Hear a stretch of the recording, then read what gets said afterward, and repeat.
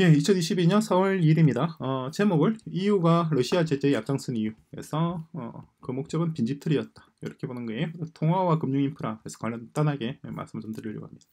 자, 오늘도 4월 1일인데 어, 정말 놀란 충격적인 뉴스가 이를 끝나왔습니다. 우리나라 언론에는 보도가 아마 안 될 것 같은데 음, 어, 참고로 저는 한국 뉴스나 한국 뭐 보도는 전혀 보지를 않습니다. 그래서 한국에서 어떤 언론이 나오고 언론, 한국 언론에서 어떤 보도를 하고 한국의 경제 전문가나 뭐 정치 전문가들이 사실 무슨 말을 하는지 저는 잘 몰라요.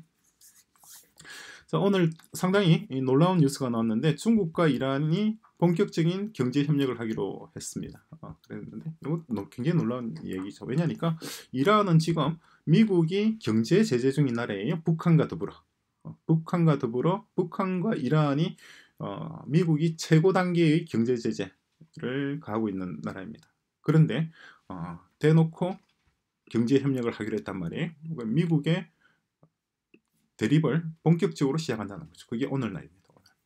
어, 지금까지 어제까지만 하더라도 중국이 어, 미국의 눈치를 보고 있었다고 저는 봐요. 눈치를 보고 어, 대놓고 뭐 어떻게 러시아랑 친하게 어떻게 하지는 못할 텐데 어, 이제 예, 대놓고 중국도 미국과 대립을 하죠. 그리고 또 하나 더 중국과 러시아 어, 중국의 아, 타이핑 안 되네. 러시아 간에 또 무한한 협력 관계 관계를 천명했습니다.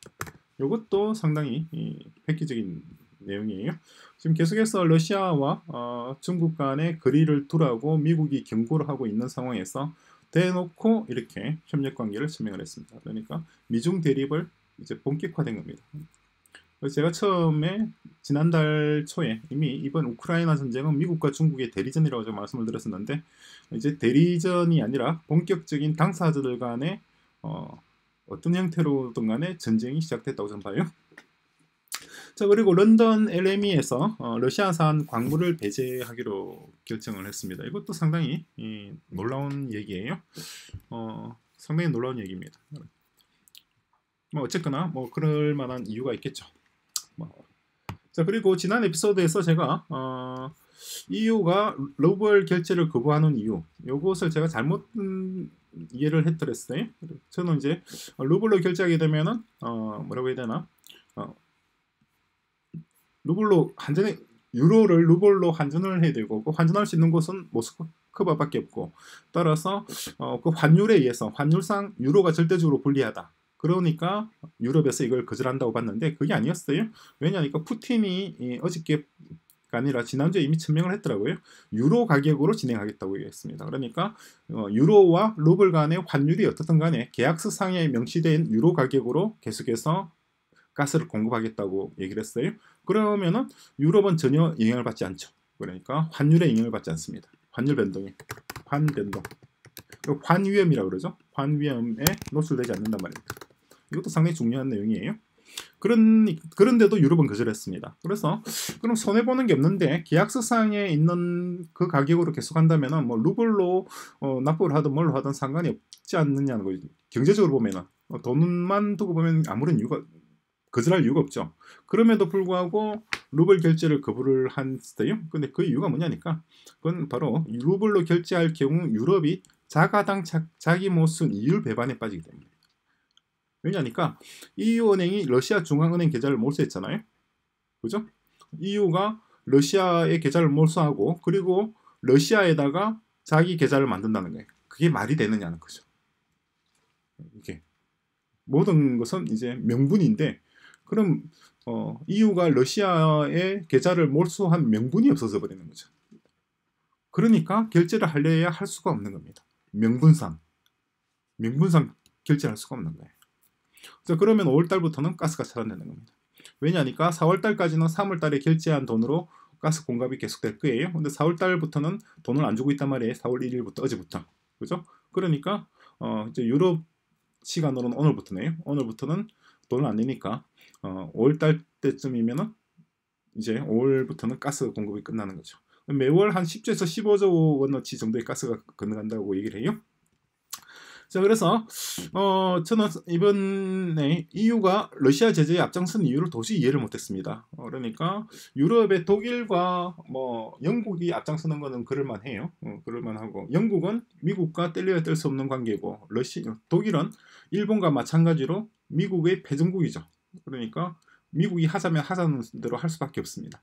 그런데 중립국이라고 우리가 보고 있는 스웨덴이라든가 스위스라든가 핀란드 이 나라들까지도 앞장섰어요. 제일 먼저 스위스가 계좌 동결을 했단 말이에요. 스웨덴은 어, 중립을 노선을 버리고 어, 마찬가지 막대한 양의 전쟁 물자를 우크라이나에 보내주고 있죠. 왜 이러는지 난 이해가 안 됐단 말이에요. 그래서 곰곰이 어저께 우리 어, 제주도에 있는 개발자들 몇 명이 모여서 서로 좀 얘기를 좀 나눠드렸습니다. 왜 그랬을까 했는데 그 이유는 빈집털이. 이거 하나 말고는 다른 이유가 없다는 거죠.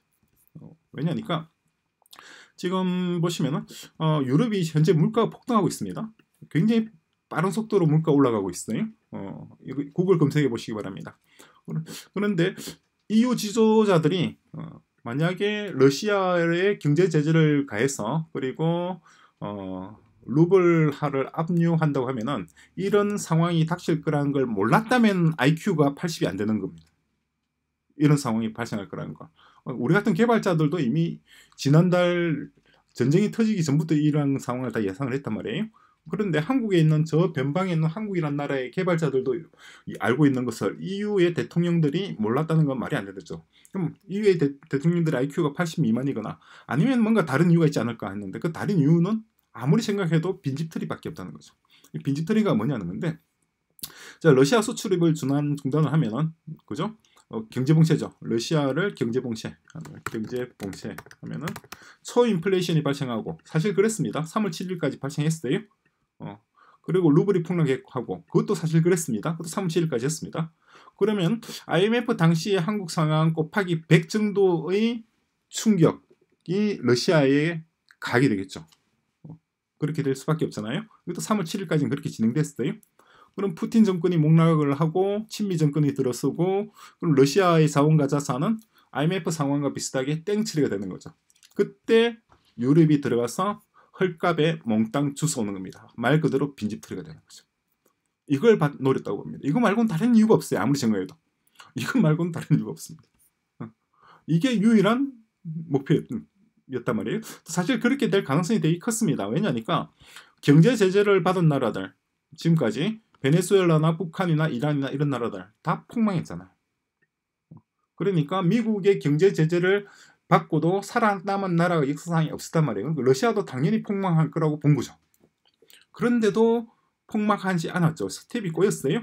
꼬인 이유는 두 가지입니다. 첫 번째, 우리가 보는 이유는 두 가지예요. 오펙이 오펙이 원유 정산을 거부했습니다. 그러니까 러시아로부터 수입 못하는 에너지 자원을 어, OPEC에서 추가적으로 조달하려고 했으나 그게 안 됐단 말이에요. 사우디와 UAE가 그걸 거절했죠. 거기다가 중국과 인도가 제재에 불참한 겁니다. 이 두 가지가 바로 어, 미국과 유럽의 스텝이 꼬이게 된 거죠. 그 우리가 보기엔 그렇습니다. 오히려 오히려 이번 경제 제재로 인해서 유라시아 경제권이 출범하는 토대를 마련해 준게 된 거예요. 어, 그 브릭스입니다. 브라질과 러시아, 인도, China 그리고 South Africa, 남아프리카 공화국이죠. 요 다섯 개 나라가 어, 어저께 어제 모여서 어, 별도로 서로 모이긴 했습니다만 서로 모여서 공동 운명체 경제 협력체를 어, 구성하고 이거 브릭스라는 말 참 오랜만에 들어보죠. 저도 대학 다닐 때 들어본 용어인데 그리고 잊어, 잊어먹고 있은 지가 오래된 용어인데 어, 다시 되살아났습니다. 이걸 되살린 것이 바로 러시아 경제 제재죠. 어, 그러니까 부메랑이 된 겁니다. 재발등을 찍은 거예요 한마디로. 다른 이유가 없습니다. 인도가 인도가 제재에 불참한 이유는 미국 유럽보다는 러중이 더 낫다고 본 겁니다. 근데 제가 보기에는 판단 잘한 것 같아요. 그게 판단이 바른 것 같습니다. 그 인도를 끌어들이기 위해서 어, 미국에서 최고위급 인사를 여러 차례 보냈습니다. 그럼에도 불구하고 영국에서도 갔어요. 어, 그럼에도 불구하고 인도가 어, 미국과 유럽에 대해서 대놓고 거절했죠. 영국에 대해서. 그러니까 인도 지금까지는 보지 못했던 모습 처음일 거야 아마 인도가 미국과 영국에 대놓고 어, 그 요구를 거절한 건 아마 어, 최근 100년 사이는 처음일 것 같은데 인도도 그렇고 다들 이제 어, 대놓고 거절하고 있는 거죠. 예, 요게 어, 지금 내용입니다. 그래서 어, 저희들 나름대로 우리 개발자들 나름대로 뭐 한 번씩 모여서 같이 맥주도 마시면서 얘기를 해요. 제주도에서 그렇게 하고 있습니다. 그래서 어, 진작부터 EU가 앞장선 이유, 그냥 참여한 것이 아니라 앞장선 거예요. 어, 미국 미국과 똑같은 속도로 앞장서서 러시아 제재를 시작했는데 그 이유가 뭐였을까를 이제 어제스야 좀 정리가 됐어요. 어제스야 그 목적은 빈집털이였다는 거죠. 만약에 성공했다, 성공할 뻔했죠. 거의 성공할 뻔했는데 어, 실패했죠. 어쨌거나 성공했다고 한다면은 그 다음 단계는 중국이죠. 어, 중국이 되고 중국이 아마 국지전을 유발할 것이고 국지전을 유발하는 것은 아마 둘 중에 하나였을 겁니다. 대만의 양안 분쟁을 야기하거나 아니면 중국 일본과 중국 사이의 조도 분쟁, 생, 생, 생가쿠 열도라 그러나요?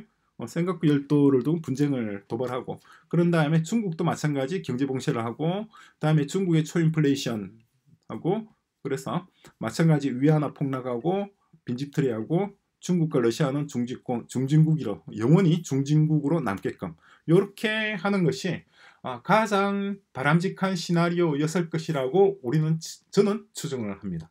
어, 단지 제 추정이에요. 그게 맞다는 보장은 전혀 없습니다. 그러면은 영원히 달러 패권을 유지할 수 있게끔 됐을 거라고 보는 겁니다.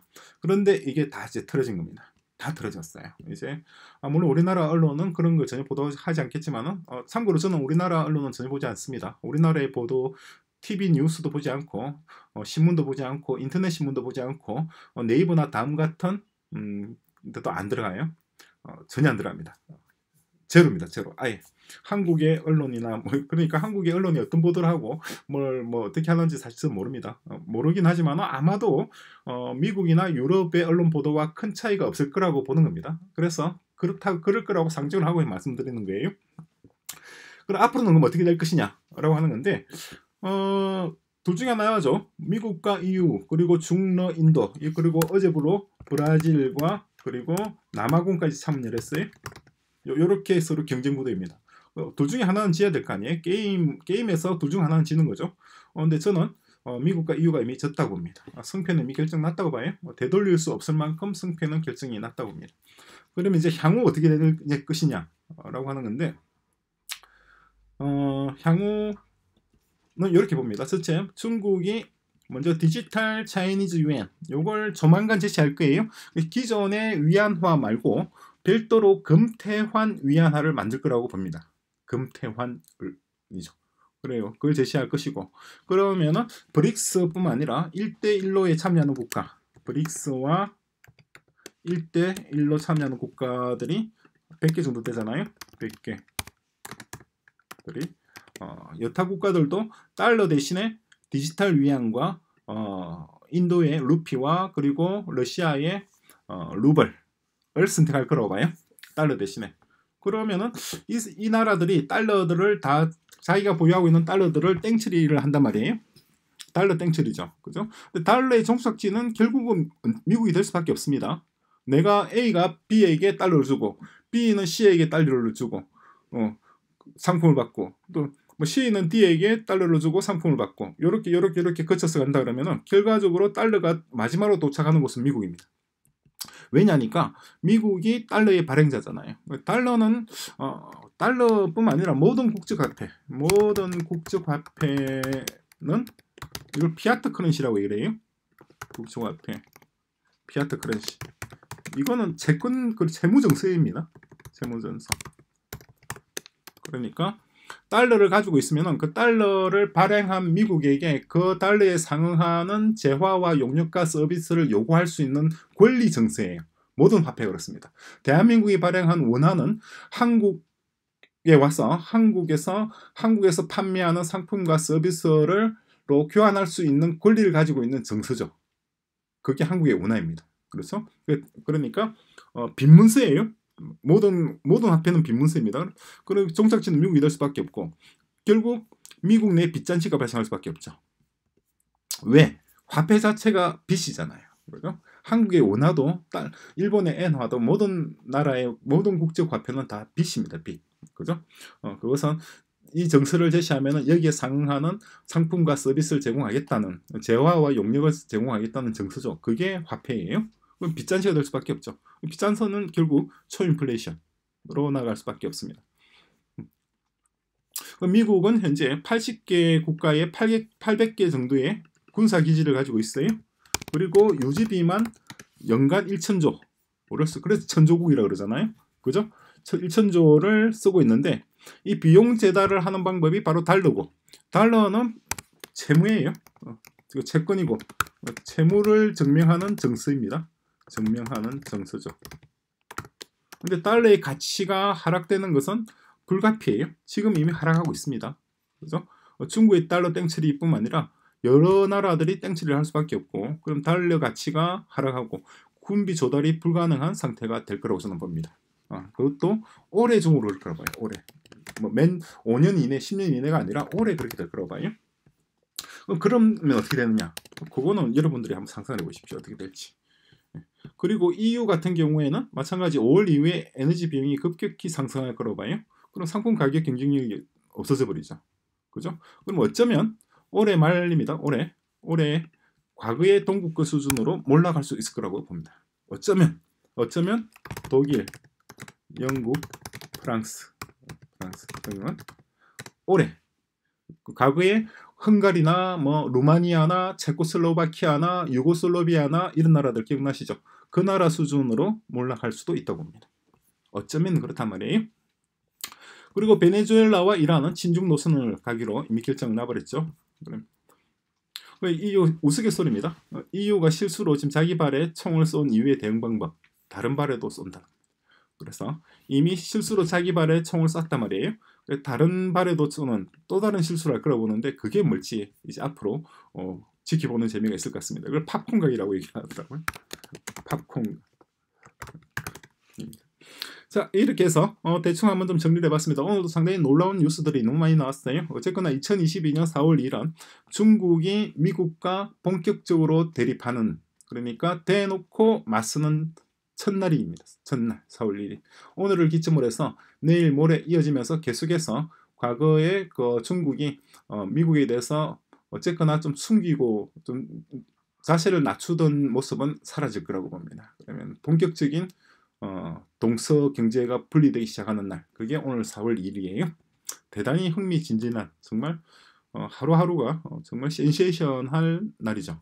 자, 이러한 내용들, 요 내용들을 먼저 쭉, 쭉 파악을 해야지 우리가 코딩하는, 우리가 진행하는 ABC 프로젝트를 제대로 시장에 성공할 수 있는 그런 작품을 만들어낼 수가 있습니다.